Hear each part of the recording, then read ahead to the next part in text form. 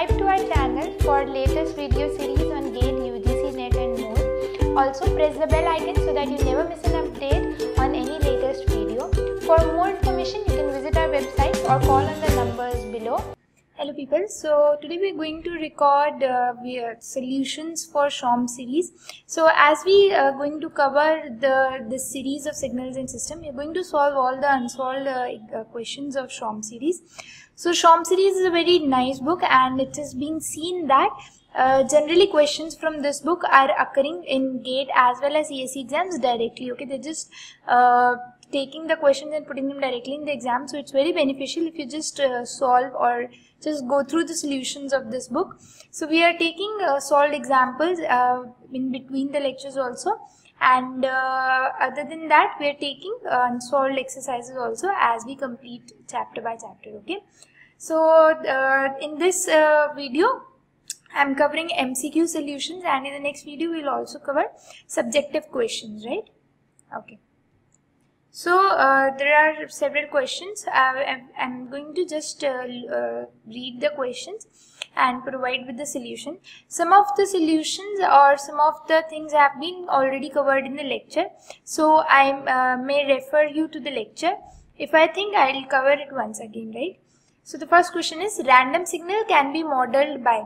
See we've discussed this category of signal that signals can be categorized as random, and deterministic okay? Random and deterministic. So we uh, said that we are going to study only about deterministic signals. Deterministic signals are those we, uh, whose values can be determined by following some rules okay? Whose values are defined in some way or other whereas random signals are those signals whose value you cannot determine okay? Their behavior cannot be predetermined. Do not know what value is going to occur. Those are known as random signals right so now they're asking if you want to model random signals. See we're using differential equations integral equations or difference equations to model deterministic signals. Why? Because their behavior is known okay? So we can express them as differentiation or integration of several signals. For modeling random signals, we are using probabilistic approach. Okay, we are using probability or statistics. So we are using some statistical parameters like mean, median, mode. Okay, we are using all these parameters to model random signals. So random signals can be modeled by statistical parameters. So the correct answer is going to be option C. Uh, statistical parameters like, like I am mentioning some examples, mean, median, mode, variance. There are several of them. So we're using these parameters to model random signals. Okay. Look at the second question. They're asking that which of these properties are satisfied by even signal. So already we've studied that if a signal is even, then its time reversed version is going to be same as the signal. If you flip it across, uh, flip it about y axis, if you just reverse it in time, the signal is going to remain the same. So this is the property of even signal. If I want to look it in time, uh, discrete time uh, domain, then it's going to be x of minus n equal to xn. That is, if even if I flip the signal, it's going to remain same.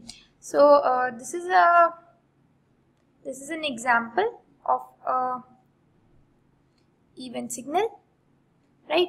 If you just flip it, it's going to remain same only. Okay, time reverse signal is also going to look the same only. So if you just go through the options, the first option, first option reads x of minus t is equal to xt. This is going to be the definition of even signal. See, in the second signal, what they have given, x of minus n is equal to minus x. So this represents odd signal.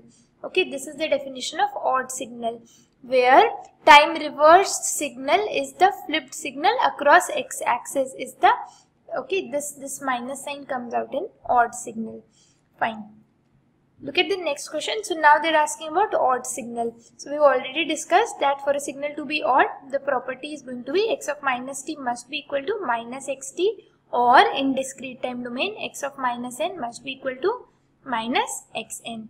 If you just go through the option, you'll find out the correct option is going to be option B. Okay, this represents even signal. Even signal. Fine. uh, next question is any signal xt can be represented at okay so we've discussed about this in the lecture also uh, any signal any general signal can be expressed as sum of a even and odd signal how see to obtain a even signal we are using this formula okay xt plus x of minus t upon 2 and to obtain an odd signal we are using xt minus x of minus t upon 2. So we're using these two formula to obtain even part or odd part of any signal. See there are going to be signals which are neither even nor odd. Okay so if you just want to represent them as sum of a even and odd signal this is how you're going to do it okay. So uh, any signal xt if you just add these two, if you just add these two equations, you're going to see that this x of minus t is going to cancel out and xt is going to become sum of even and odd signals, okay. So what can I say? Any signal xt can be represented as sum of its even and odd parts xet plus x naught t, right. So this is how we can represent any signal as sum of its even and odd parts and this is how you can find even and odd parts of a signal even if it is not neither even nor odd okay fine Look at the next question. Now they're talking about periodic signals. So we've talked about periodic signals uh, already. What happens in periodic signal is they're going to repeat their values after a fixed interval of time. After a fixed duration of time, they're going to repeat the same values again and again.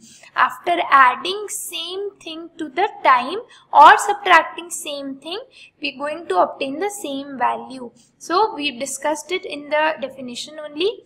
If capital T, if capital T, this is the time period. If this is the time period of the signal, then I can say that if I am adding this capital T or subtracting this from time, I am going to obtain the same value. Okay, so uh, according to this definition, option A is also correct, option B is also correct.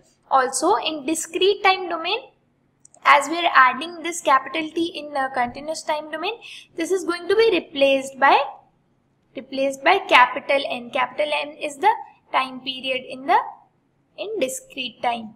So this is going to be xn.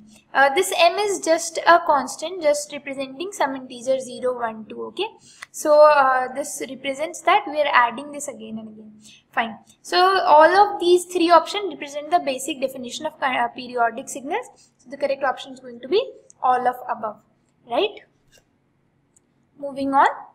Now they're asking about energy signal. So we've discussed the definition of energy signal is the signals which have finite energy and zero power. Signals with finite energy and zero power are known as energy signals. Right? Finite energy. Finite energy means energy must lie between 0 and infinity. And what is going to be their power then? Zero power. See, Power is going to be finite only if a signal has infinite energy. Once we find out that the energy is infinite, then only we are going to proceed to find power. Right? So, if the energy is finite in itself, power is going to be zero. So, energy signals are the signals which have finite energy and zero power, which is option A. So, the correct option is going to be option A. Uh, so this holds uh, true for both continuous time and discrete time signals. So this is going to be true for continuous time and discrete time both. Right. Now they're talking about power signals. Now we know that power, we're going to calculate power only when energy is infinite or energy is infinite and power must be finite for a signal to be called as power signal. So the correct option is going to be option C finite power and infinite energy. And when is going a signal going to be neither power nor energy signal? When it has infinite energy infinite power or zero power zero energy. Okay something like this then it is going to be neither power nor energy signal. Right. Look at the next question now. System with memory can be characterized by see uh, so we talk about system. The system can be memory less or with memory. Now if a system is having memory that is it, re it uh, records values of the past. It retains values of the past right? So to represent such a system, we are going to use differential or difference equation. See, what does differential equation mean? What does differential of a function mean? Differential or difference equation gives the past value value one instance before. So uh, to represent a system with memory, we are going to use differential or difference equation. Okay, so the correct option is going to be D. We can use both differential equation in case of continuous time or difference equation in case of discrete time systems. So to represent a system with memory, we are going to use differential or difference equation. Fine. So the answer is going to be option D. Look at the next question. So they are asking which system is non-linear in nature. For, to identify linearity of a system, what are we going to judge? We, we having two criteria, homogeneity and superposition. What is homogeneity? Okay, so in, uh, in uh, a nutshell, I can say that what is homogeneity is that if I am uh, multiplying the input with a constant, the output should also be multiplied with the same constant. And what is linear superposition? If I add two signals, their outputs must also add, okay? Uh, which means that if y1 is output of x1 and y2 was output of x2, then output of ax1 plus bx2 must be ay1 plus by2. This is what linearity stands for, okay? We I multiplied x1 with a so y1 got multiplied with a which represents homogeneity. And I added these two signals in the input so the output also got added which means which represents superposition. So this is what linearity means okay this is how we're checking linearity. Now see uh, in the first option we're just having a constant in multiplication. So this is not going to affect uh, linearity right? If I just uh, perform this kind of operation it's going to satisfy. In third and fourth options also these functions are linear functions. Why? Because they're just simple addition or subtraction of shifted time shifted signals. But look at the option B here we are having a term of x square one term with power 2 now, when there is a square of a term, that is not going to follow these kind of functions, right? Why? Because whenever you're going to add signals in whole square, some extra terms of multiplication are also going to come, which are not desired. We do not desire them, okay? We want linearity. So, this system, this uh, option B is a non-linear system right? Because this does not follow the principles of homogeneity and superposition okay? It may even follow homogeneity but it is not going to follow superposition right? Fine. Uh, now look at the next question. So they're asking uh, you to find out the type of the system which are described by the following equation. Y square t plus 2yt is equal to x square t plus xt plus c so they're asking that what kind of system is represented by this equation. So firstly you can see that there is a square term. So the system is not linear. This is going to be non-linear. Non-linear. Then they're asking if the system is uh, dynamic or static. See, we're not having any memory in the system. We're not having any past values t minus 1, t plus 1, anything like that. So the system is going to be a static system. This system is going to be static. Static means that uh, the values of the same instant are present. So the correct option is going to be option D. The system described by the given equation is representing a non-linear and static system, right?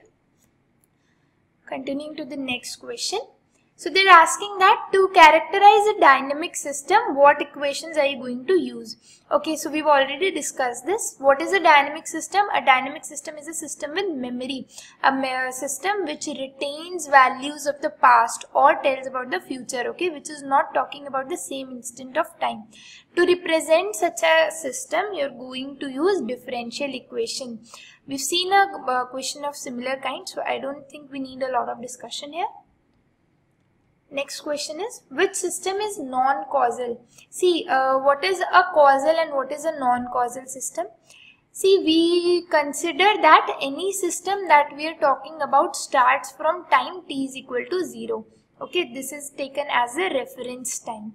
If I have any signal which starts from t is equal to 1, 2, that is acceptable time delayed systems are acceptable. This is the starting point, okay, start. Now any system, any signal that starts from t is equal to 1, 2 or so on or 0 is acceptable. But a signal which is advanced in time which started before the point of observation. The start is the point of observation, okay. This is where we started looking at.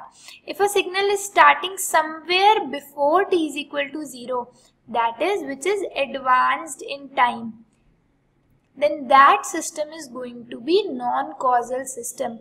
We've already looked at this, right? When we uh, studied about operation, time delayed signals, time delayed signals or system are of the form xt minus t naught and and time advanced systems or signals time advanced system or signals are of the form xt plus T naught. If you are having a signal or system of the form xt plus T naught, it's going to be advanced in time.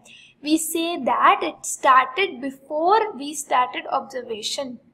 So, for a system to be non-causal, it must have something added to its argument. Okay, so as you can see from the options, option A is going to fit in. So, yt is equal to x of t plus 1 is a non-causal system. It started before t is equal to 0. All the other signals, see this started at t is equal to 1, t is equal to 1. This started at t is equal to 0. So they are going to be causal systems, right? Look at the next question. Now they're expressing a discrete time system as product of two signals and they're asking about uh, causality, nonlinearity and uh, time variancy. Now see, we're going to talk about all of them one by one right? So uh, firstly we are going to talk about its uh, causality. Since the signals are starting from n is equal to 0 both so the signal is going to be causal. We just discussed about causal non-causal systems. Both the signals start from n is equal to 0 so the system is going to be causal. Now since these signals are multiplied, multiplication is a non-linear operation. Plus and minus are linear operations. Multiplication and division are non-linear operations. Why? Because they're not going to follow superposition. Okay. So this is going to be a non-linear system. Non-linear system. Okay, so already one option only with causal and non-linear. Still, if you want to discuss about time variant or time invariant what you're going to do is you're going to shift both the signals by same amount. You uh, shift them by n naught i n minus n naught. And just check okay? So if you just do that if you just take you're going to get them as time varying. Time varying. The system is going to be time varying okay? So uh, the correct option is going to be b. Option b. Right now they are expressing a continuous time system by y cube t plus y square t plus yt is equal to x square t plus xt and again they are asking if the system is linear, non-linear, static, dynamic. So we've already seen a system of this kind is going to be non-linear since it has a square term and since all the uh, arguments are t only, we're not having any memory in the system so the system is going to be static. So the correct option for this question is going to be option D, non-linear and static we already discussed about linearity and static dynamic system so I'm not uh, explaining in detail again. Look at the next question. So they're again asking about a causal system. So you know that a causal system is one which starts before t is equal to 0 which is advanced in time. If you just look at the option uh, you can identify this easily. Which of them is going to be causal system? So uh, see this is having a time advanced uh, signal. This is also having a time advanced signal. This one also. So the only causal system out of them is going to be option B 5ut plus 3ut minus 1. This starts from t is equal to 1 and this starts from t is equal to 0. So this signal, this system is going to be a causal system, right? Now the uh, question is the mathematical model of a system is linear if it obeys principle of so we've discussed that to assist for a system to be linear it should be homogeneous and it should obey superposition homogeneity and superposition superposition homogeneity So the correct option is going to be option D.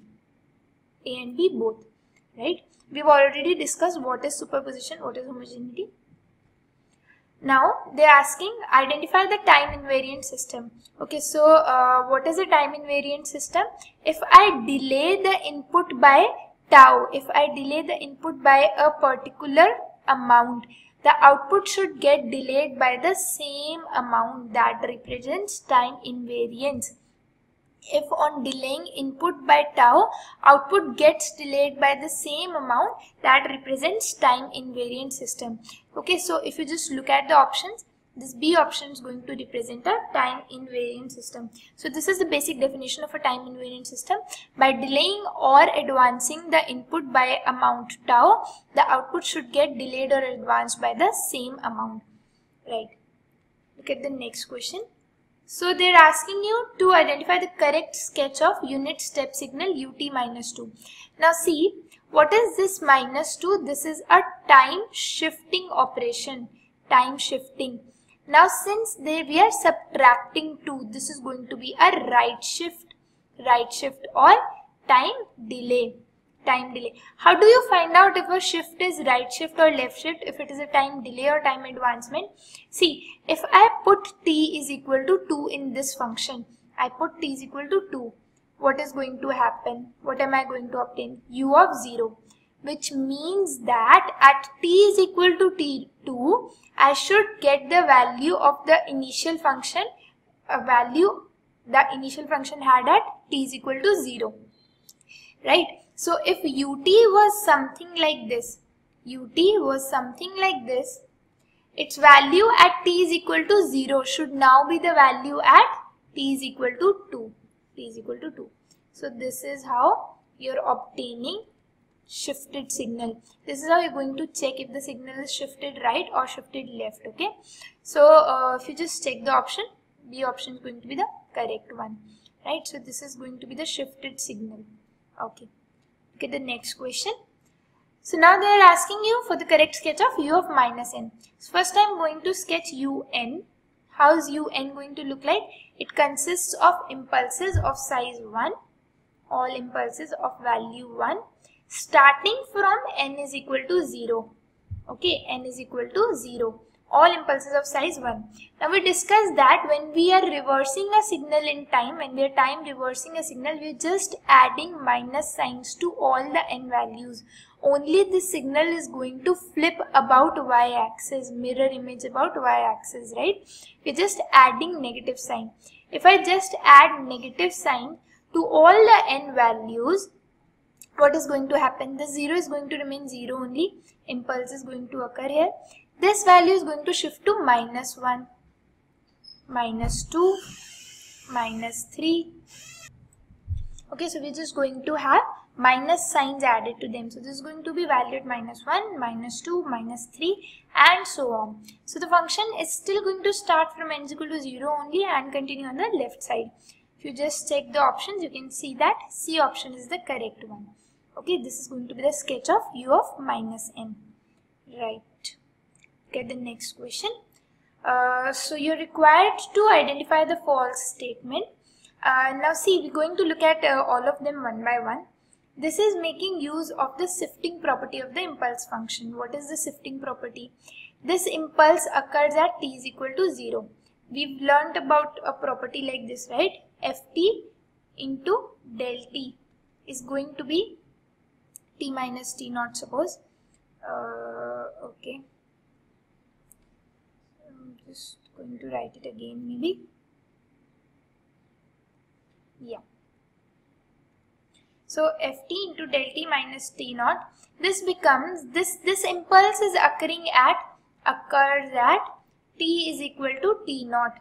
So what happens is when you're multiplying this with the function what happens is this is going to become value of the function at the point of occurrence of this impulse into impulse why is this happening is, if you're multiplying an impulse with a function, impulse at a particular point with a function, only that point of the function is going to remain, only that value is going to be retained. Rest, all of the function is going to be lost. This is known as sampling or shifting property of impulse function. So if you just look at the first part, this impulse occurs at t is equal to 0. Now in multiplication I am having t. So what happens? We are going to have value of t at t is equal to 0 which is 0 itself into del t. This comes out to be 0. So this part is correct. Now this function, this delta occurs at occurs at t is equal to pi. This is a shifted delta function occurs at t is equal to pi. So what happens? We are going to obtain value of cos at t is equal to pi into delta of t minus pi. Now you know that cos pi is having value, cos 180 degree is having value minus 1. So this is going to become minus of del t minus pi which is given which is true. Now look at the last part.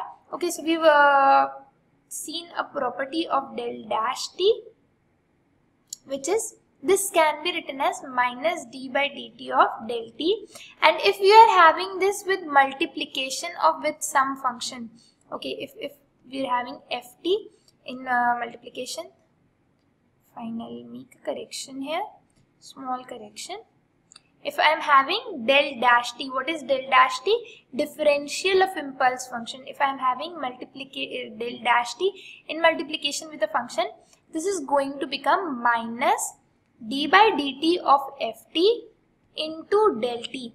Okay, so this is a property of shifted, oh sorry, differential of impulse. Okay, this is a property of differential of impulse. So using this property here ft is t, right? ft is t in this part.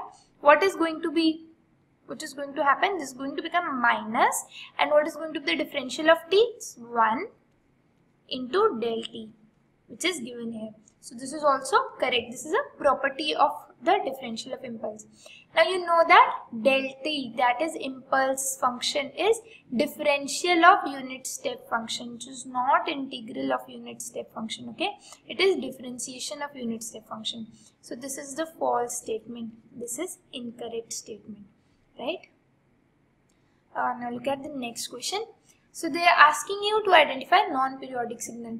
Uh, so I'm going to sketch graphs for these signals so that you have an idea how to identify non-periodic signals. See otherwise also you can just check this cos square t is having this is just cos only just uh, all the negative cycles of cos are going to be going to occur on the positive axis. This is going uh, to be cos square t it's going to continue on both sides. Right how did this happen? We've seen the graph of cos right? You know that this is how cos function looks like. Okay. Not very good at drawing but you can understand. This is how cos function looks like. Right? So when you're going to square this function what happens is it is something like this negative cycles in cos are going to convert to positive cycles. So this is how cos square t is going to look like. Okay, you can just check by putting values. If you just put t, cos square 0 is going to be 1. Okay, if you just put uh, t is equal to pi by 2, cos square uh, pi by 2 is going to be 0. Again, cos pi is minus 1, but when you square it, it is going to be, okay, I'm sorry, pi. Right? This is going to be 3 pi by 2. Fine. So now you can see that this is a periodic function. This is a periodic function with period of how much? Pi. This is a periodic function with a period of pi. Similarly, sine square t is also a periodic function with a period of pi. Okay, you can just get, uh, sketch the graph of sine square t in a similar manner. Just shift this graph uh, by pi by 2. Okay, you're going to obtain the graph of sine square t. Now, see this sine 2 pi by 3t, this is also going to be a periodic function. Why? Because you know that any function of the form sine omega naught t, this sine omega naught t is going to be periodic. Okay. Uh, I think we missed this when we discussed periodic and non-periodic functions. But if a function is discrete, that is if you are having a function of form sine n omega naught, then for this function to be periodic, this omega naught by 2 pi must be a rational number must be a rational number. Only then this function is going to be periodic. But this is not the case in continuous time signals. Any signal of the form sine omega naught t is going to be periodic okay? So this sine 2 pi by 3 uh, t is going to be a periodic signal now this signal cos 2 pi t into ut is not periodic. Why? Because this occurs only for positive values of t okay? This is going to be something like this. If i just draw this this is going to be something like this. This is not going to occur for not going to occur for negative t values. Why? Because we multiplied this with ut ut retains only the positive values only the function for positive t value. So this is going to be a non-periodic signal. For a signal to be periodic it should have the same value. Either you subtract its time period from it or add. Now this is going to have the same value if you just keep on adding the time period that is 2 pi. But if you subtract 2 pi from the argument it's not going to have the same value. It's not occurring for uh, negative values of t. So this is going to be a non-periodic signal. Okay? Uh, look at the next question now they're asking you for even part of a unit step signal. So we are defining unit step signal something like this. Unit step signal is going to be 1 for all values of t greater than or equal to 0 and it's going to be 0 for all negative values of t or all values of t less than 0 uh, if I just sketch it this is uh, how something it looks like. This is ut function unit step signal. Now to obtain even part or odd part we are going to require negated signal also time reverse signal also now we've seen this how you're going to do you're just going to reverse the argument right so what happens now? You if you just multiply with minus sign, min, uh, multiplying with minus sign reverses the inequality. Reverses the inequality. So if I just try to represent this, this is going to be 1 for all negative values of t and 0 for all positive values of these t, right? So this is how u minus t looks like. Now if you want to obtain even part of signal, what is the uh, method? to obtain even part of signal you just add add the signal with its time reversed version and divide the complete by 2 now what am i going to do if i want to obtain even part of this unit step signal i need to add both of them if i just add both of them this is how they're going to look like. This is how they're going to look like. Now value of this is going to be 1 but since i need to uh, divide them by half so this value is going to become 1 by 2. If I just uh, try to write the signal, I am going to write it as 1 by 2. Since it is having value 1 by 2 for all t values, for all negative values, positive values, value of t at t is equal to 0. Or at all time instances, it is having the value 1 by 2. So this is going to be the even part of unit step signal. Okay. Uh, look at the next question. So they are given a graph and they're asking you to represent it as a, a unit step signal, shifted step signal. So uh, see, yeah, are two, three methods to do this. One way is that you know about unit step signal, right? This is how a unit step signal, normal unit step signal looks like. Now just look at the options. They're performing a shift of 2 and they're performing a reversal operation. So we can just check by performing the reversal or shift operations ourselves. Okay, then I am going to tell you how you can perform the uh, operations directly, how you can just check the answer directly by looking at the question itself. Okay. Uh, so what do I do first? See, uh, I can see that the signal has been reversed because it is having values towards negative infinity, right? It is having values uh, continue till minus infinity. So the signal has been reversed, okay? This is confirmed. This is uh, this can be known by observing the signal. So reversal operation, one operation that they have performed is reversal. Reversal. Now the other option, uh, operation that they performed is time shifting. Why? Because the signal is not starting from t is equal to 0. It's starting from some other instance of time. So the other uh, operation that they performed is shifting. Now if you just recall that if uh, we have to perform, if we are required to perform operations of shifting, reversal, scaling, something like this, then the natural order that we are doing them is shifting first, then reversal or shifting first, then scaling, right? So what do I do? I uh, follow the same, okay? So this is just hit and trial. So uh, what am I doing is, I'm performing a left shift, okay? I performed a left shift by 2 because the shift evident is 2 so I performed a left shift. So this is going to be ut plus 2 ut plus 2 okay? I performed a left shift. Now I need to perform reversal because I can see that reversal has been formed. So I perform reversal. If I just perform reversal okay this is going to be minus 2 sorry. If I just perform reversal this value is going to become 2 this is going to become 2 and the signal is going to become u minus t plus 2 okay. Now see this looks exactly as a given signal. So if you just check the option correct option is going to be option c right? This is going to be u2 minus t. Okay. Now see how can you uh, look at it and tell directly is if a signal would have been shifted right i should have got something in minus okay in the argument a shift of negative. But since this whole signal has been flipped whole signal has been reversed the shift became positive okay and this minus came here right? So this is how you can tell directly also. Although it needs a little bit of practice if you just practice some questions you're going to get that uh, yourself okay. Look at the next question. So they're asking that invertible systems are those systems where uh, they've given four options. I'm going to read them. Output can be uniquely obtained from the knowledge of input. Input signals can be uniquely determined by observing output. A and B both and uh, or system output is always constant. Okay, so we've uh, seen, uh, read about invertible and non-invertible systems. Invertible systems are those uh, for which by observing output we can tell about the input. Okay, those are known as invertible systems right like addition subtraction all these are invertible systems so uh, b is going to be the correct option. Input signal can be uniquely determined by observing output signal right? So now we've come to the last question.